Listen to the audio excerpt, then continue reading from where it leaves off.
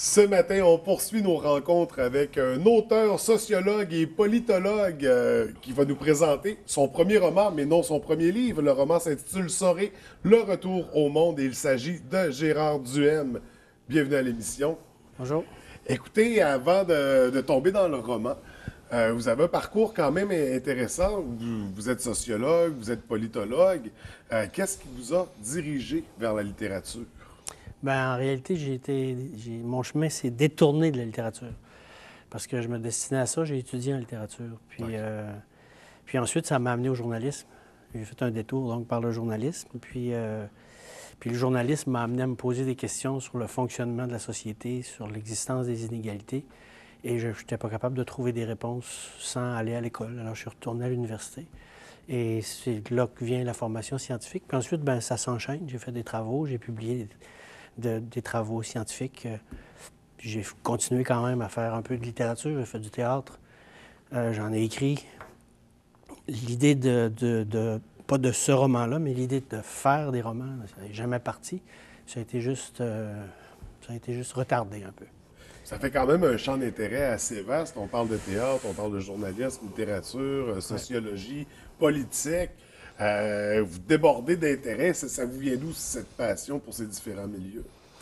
Je sais pas. Je pense que la, sauce liante, le point commun de tout ça, c'est tenter de comprendre. Ça a toujours été ça, en fait, tenter de comprendre ce que j'avais devant les yeux, en particulier les injustices sociales puis euh, les inégalités. Alors, tous ces. Quand j'ai fait du théâtre, euh, ça, ça, participait à ça parce que c'était du théâtre où on essayait d'expliquer ce genre de choses-là, mm-hmm. au moins dénoncer, sinon expliquer correctement illustrer, donner des images de ça. Euh, puis euh, ben, la démarche scientifique, clairement, était, était, euh, allait dans cette direction-là. Et là, vous avez écrit des livres en lien avec les études que vous avez faites de votre parcours scientifique, disons. également, là, vous nous arrivez avec un premier roman. On change complètement de style littéraire.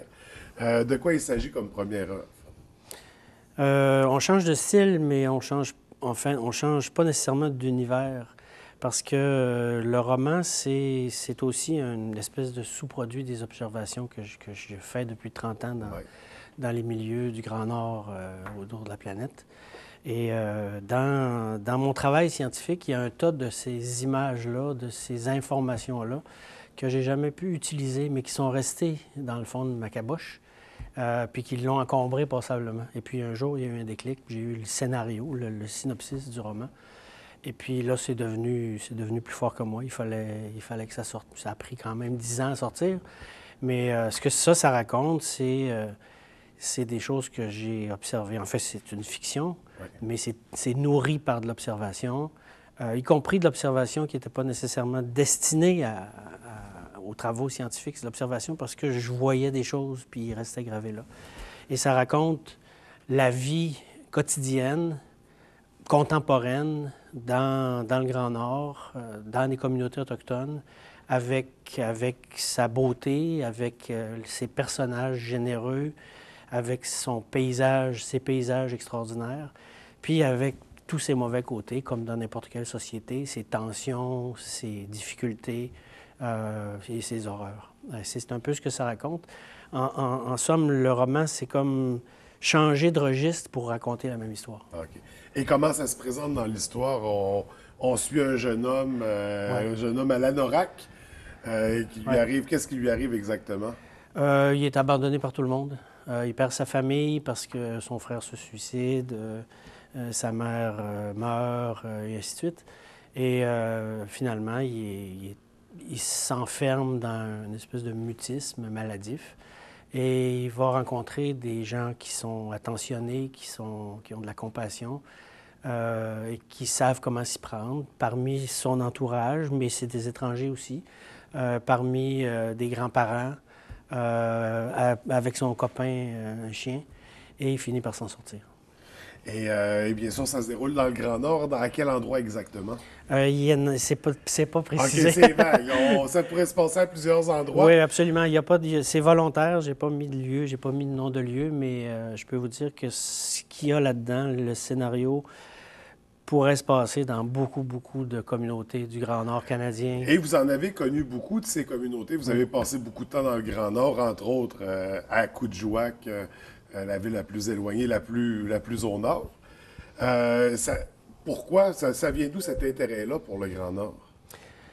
Euh, ben, ça remonte à l'histoire que je vous ai racontée tantôt, c'est-à-dire mon séjour à l'université. Puis euh, c'est un concours de circonstances. Je connaissais rien du Grand Nord, je connaissais rien des, populations, même des populations autochtones, à part ce que je pouvais en voir. Parce que j'ai quand même grandi euh, au Saguenay-Lac-Saint-Jean. Je suis passé par ce qu'on appelait Point Bleu à l'époque, quelquefois. Originaire de Chicoutimi, quand on parlait de journalisme, c'était bien au quotidien, Progrès Dimanche. Exact, exact, c'est ça. Alors, à l'université, j'ai eu un emploi d'été. Euh, à cette époque-là, j'étais, en sciences politiques, puis je me destinais euh, aux relations internationales. OK. Parce que je voulais comprendre les écarts de richesse entre les pays riches et les pays pauvres, puis à l'intérieur des sociétés. cet intérêt-là pour la sociologie, les gens, la société? Ben, je ne savais pas que ça s'appelait la sociologie, je ne savais pas que ça s'appelait la science politique, mais je savais que c'est ce que je voulais comprendre. Et je me destinais vers ça, mais en relations internationales, les gens qui étaient à l'Université de Montréal, où j'étais à ce moment-là, eux, ils se destinaient à la diplomatie. Et c'était pas du tout ce que je voulais faire. Je n'aimais pas tellement le milieu. Puis, euh, mais je voulais comprendre les inégalités. Alors, euh, j'ai eu un emploi d'été dans le Grand Nord. Je suis arrivé là, pour ainsi dire, par pur hasard. J'ai traversé le village, puis ce que j'ai vu là m'a convaincu qu'il y avait un tiers-monde chez nous, puis je savais que c'est là que j'allais travailler.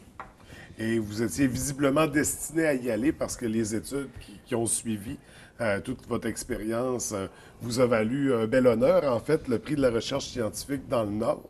Euh, concrètement, c'est quoi le travail que vous avez réalisé dans le Nord? Ah, mon Dieu, c'est pas mal d'années de, travaux. En gros, le, fil conducteur, encore une fois, ça s'appelle la sociologie économique, essayer de comprendre les relations entre l'univers économique et l'univers social, les impacts, par exemple, des développements économiques mhm. sur toutes sortes de sphères, sur toutes sortes de sujets, y compris sur le bien-être ou le mal-être des individus, sur la pollution atmosphérique, ce genre de choses-là. Alors, j'ai fait beaucoup de travaux comme ça, puis c'est un peu cette, euh, ce prix-là est venu un peu chapeauter ça, et je pense que l'élément déclencheur, c'est ma participation dans l'année polaire internationale. Il y a eu une année polaire internationale en 2008 autour de ça. Et j'étais dans le comité de planification nommé par l'UNESCO. Euh, et quand je suis arrivé sur ce comité-là, il y avait, on était une vingtaine de chercheurs du monde entier. Euh, et, j'étais le seul en sciences sociales.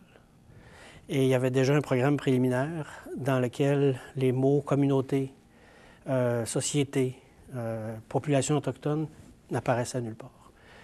Et j'ai fait une bataille pendant un an avec l'aide la Commission polaire canadienne, avec l'aide d'associations internationales dans lesquelles j'ai été engagé euh, plus tôt.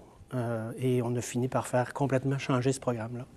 De sorte que pour la première fois dans l'histoire, l'année polaire avait une importante dimension sociale. Puis ça fait partie des, euh, des accomplissements, disons, qui ont été soulignés. Donc une grande réalisation. Vous avez joué un rôle important finalement pour le Grand Nord et de toutes ces expériences-là, de toutes ces connaissances-là vous ont permis de nous présenter aujourd'hui Soré le retour euh, au monde, un livre à découvrir, un livre que vous nous avez présenté également dans le cadre du Salon du Livre. Et justement, on va faire le lien.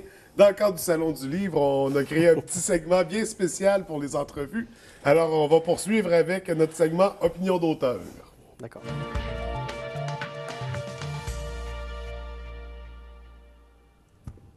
On, débute avec une première question. J'aimerais connaître le livre qui a changé votre vie. Hmm. Il y en a plusieurs, mais sans hésiter, je dirais Moby Dick d'Herman Melville, que je lis encore euh, régulièrement. C'est un livre qui est, un, c'est une pièce maîtresse dans l'univers romanesque. Euh, pour, pour toutes sortes de raisons qui, je suis certain que dans votre segment, on n'aura pas le temps de discuter. Mais une œuvre d'une grande richesse, un incontournable de la littérature. Oui, absolument. Donc, euh, Moby Dick. avec euh, ma deuxième question, on passe du livre papier au livre numérique. Quelle est votre position? Euh, je trouve que c'est formidable parce que les capacités qui, se, qui se déploient avec ce, ce moyen-là, la capacité, par exemple, d'emporter une bibliothèque à des kilomètres, euh, sans que ça paraisse. C'est extraordinaire. de l'autre côté, ben, il y a toujours une petite nostalgie de la, de vieille bibliothèque de Chicoutimi qui sentait le bon, euh, bon le, le vieux livre puis le vieux cuir. Il y a d'autres bibliothèques comme celle d'Alexandrie qui sentent le brûler maintenant. Oui. S'il y avait eu le numérique à l'époque, ça existera encore. Et pour terminer la troisième question pour le segment opinion d'auteur, lequel de vos livres, parce que là on, on vient de présenter un roman, mais vous avez d'autres livres, lequel de vos livres mériterait sa place au grand écran? Ah, ben lui, c'est certain. Il y a des... Il y a des euh, j'ai écrit du théâtre, puis il y a des, des scènes à l'intérieur de ça qui sont, qui sont pensées comme au théâtre. Euh, ça pourrait parfaitement se transposer au grand écran. Plus, d'ailleurs, faci- plus facilement d'ailleurs qu'au théâtre, parce qu'il y a un appel à, à la magie à un moment donné, puis, puis le cinéma permet ça. Et je profiterai du fait qu'on parle de théâtre pour souligner que le fait que vous avez même créé une ligue d'improvisation. Oui, Euh, c'est vrai. et donc, c'est un grand intérêt pour, euh, Ouais. pour différentes formes de culture, finalement. Oui, oui, c'est vrai. J'ai Euh, participé à ça avec d'autres. On avait un leader là-dedans qui s'appelle Jean Labrie. Euh, c'était à l'Université Laval en 1982 et c'était c'était un enfant de la Ligue euh, professionnelle, la Ouais. Ligue nationale d'improvisation.